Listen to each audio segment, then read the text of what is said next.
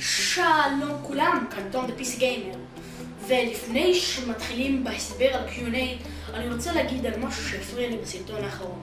בסרטון האחרון אני אמרתי שהמשחק דקרו יצא ברביעי באפריל. ונכון, אני טעיתי ואני מצטער על כך.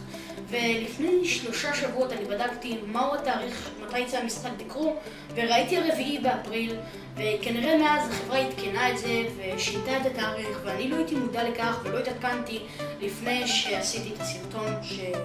הסרטון הקודם. וכן, אני באמת באמת מצטער על זה אבל יש תגובה מאוד מגעילה שאחד מהאייטרים שהיא ממש הגעילה אותי שאפילו אמרתי בואו נציג לכם את התגובה המגעילה הזאת בערוץ שלי. והנה אני שם אותה עכשיו כאן למעלה. וכן, היה אחד שאיך לומר הגן עליי וממש כתב תגובה שמאוד מאוד ריגשה אותי עד שהגעתי למצב שאני רוצה אפילו להציג אותה בערוץ שלי.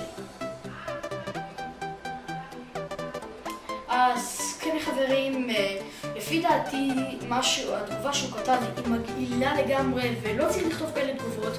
ואם נכון טעיתי ואתם רוצים לתקן אותי אז תכתבו למשל תגובה כזאתי.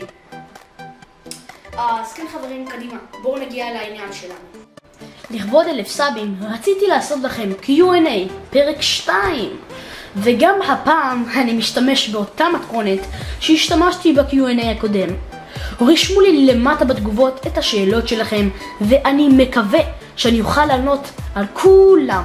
אז תודה רבה צפיתם, מקווה שנהנתם, וניפגש ב-Q&A. אז יאללה ביי!